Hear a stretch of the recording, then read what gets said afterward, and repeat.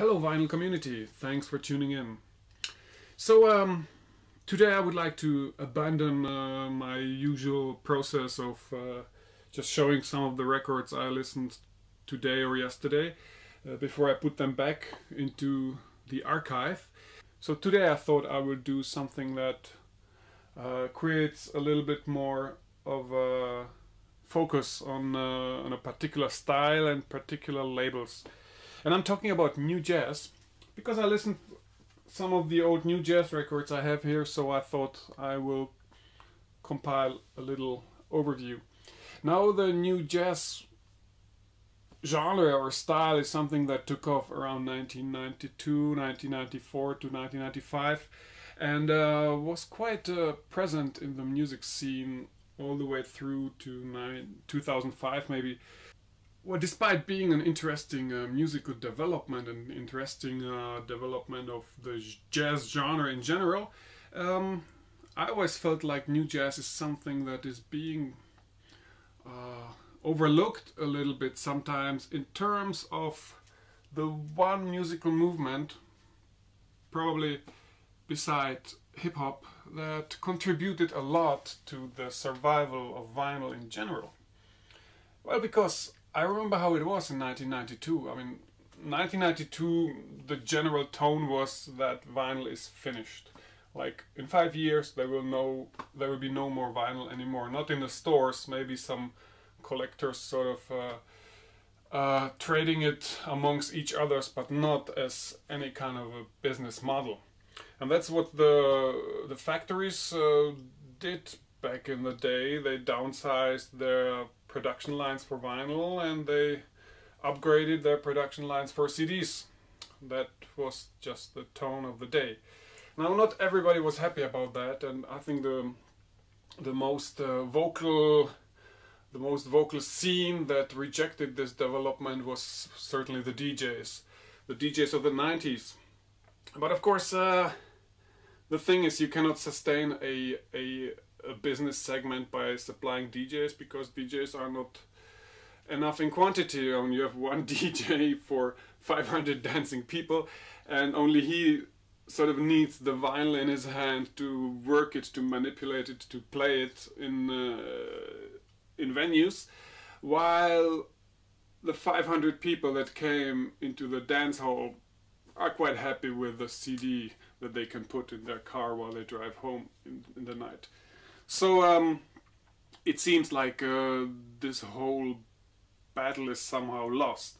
But um, it's not exactly true, and uh, there is obviously a tiny bottleneck in the late 90s that kind of that kind of um, helped vinyl to survive this crisis, and that is the nu jazz movement, because suddenly even the consumer started to buy or to keep buying vinyl records uh, during those years.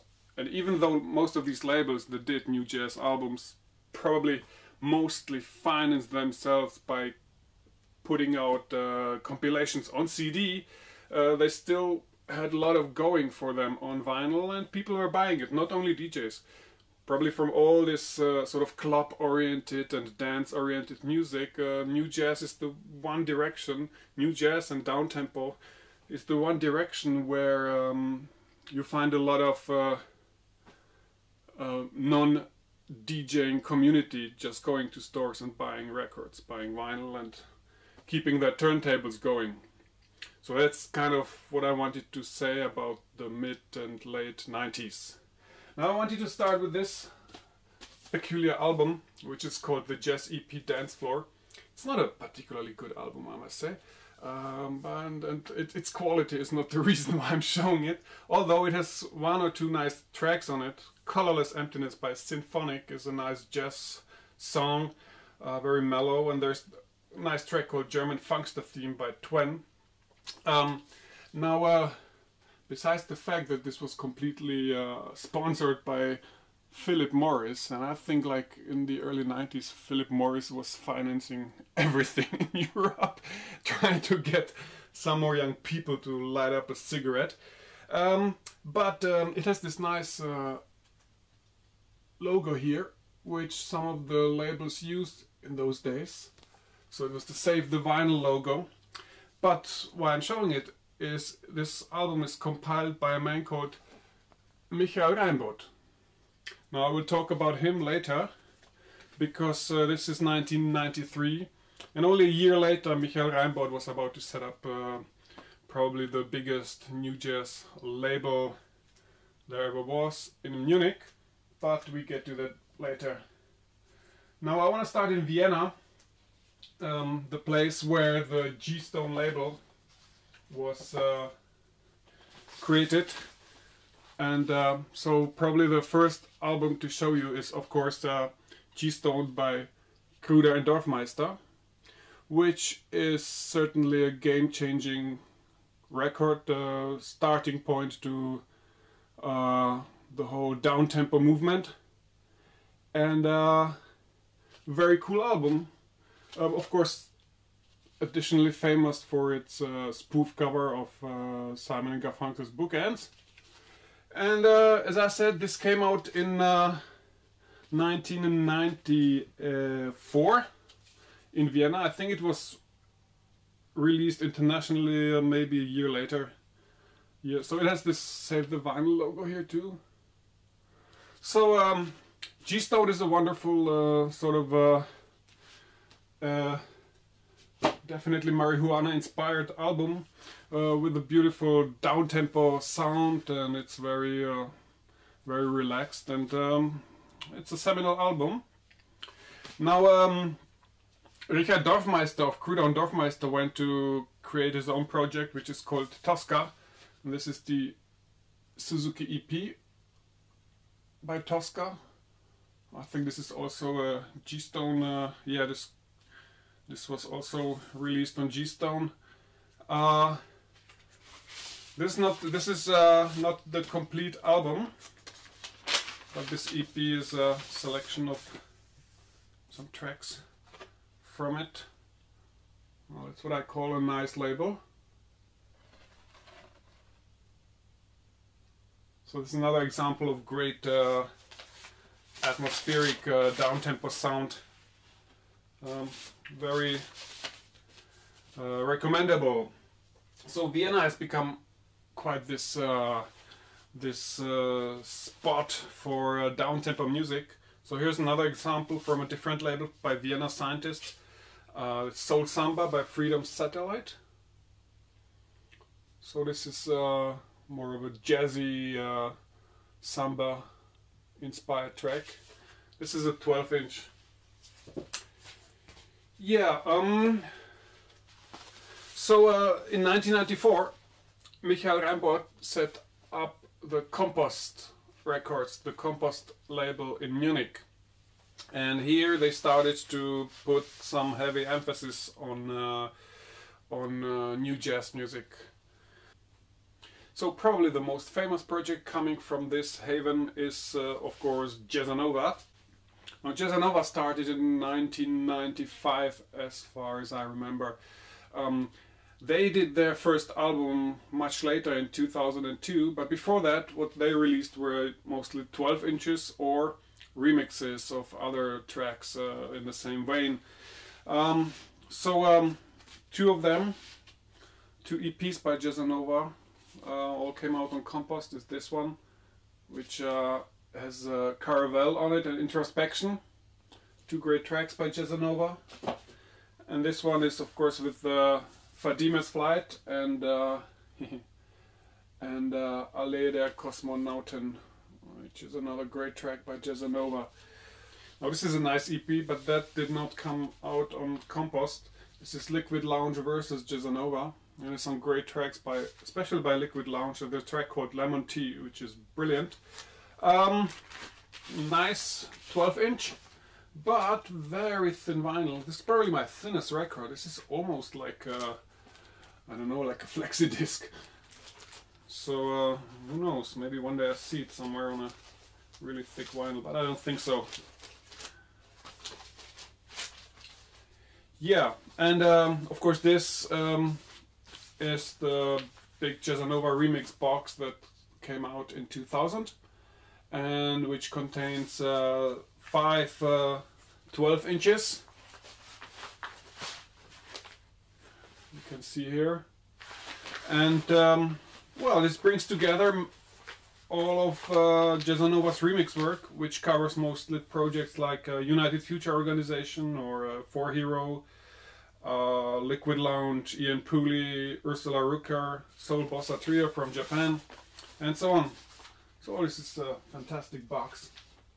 Um, yeah, um, Compost Records put out also the records by uh, Modaji, which is also Harvey Lindo. You can see here. It's only in parts nu jazz. I would see this much closer to the to the to the hip hop and down tempo environment. Yeah, it's good record. This World by Rima. It's a double album. Another Compost production. There's a lot of uh, sort of nu jazz and uh, uh, drum and bass parts in it. Now the third label I wanted to mention is Studio K7 in Berlin. Now this is a label that started uh, much earlier in 1984, but it wasn't before 1995 that they started to put a lot of emphasis on um, yeah, on, on jazzy vibes and sounds, so mostly sort of jazz house and, and nu jazz music. Yeah, so one of the flagships of this era is of course the Trüby Trio. Um, so this is their major uh, remix work called DJ Kicks. So it's part of the DJ Kicks series, uh, which went on in those years uh, by other artists as well.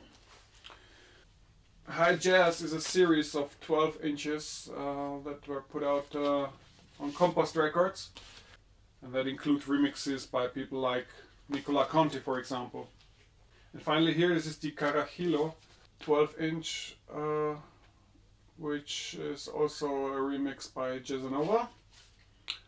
Um, yeah, and um, now Trüby Trio without Rainer Trüby uh, is of course Fauna Flash.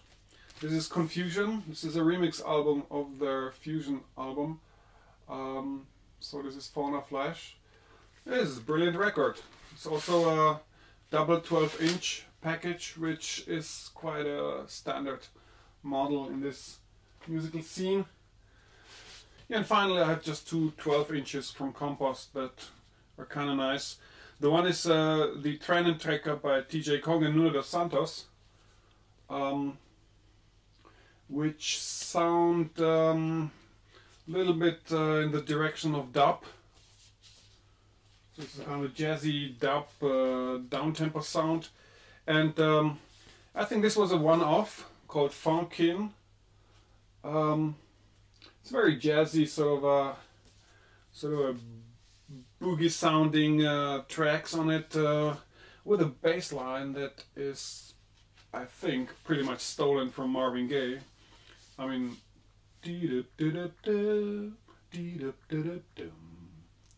does that ring a bell? That's a nice record. I think I don't know exactly who's behind this, but they never did anything more than this. So this was a little little glimpse into the German nu jazz scene of the mid and late 90s and um, their own role they played in the survival process of vinyl. So I hope you liked it and um, I probably do one or two more in this musical direction. Bye bye.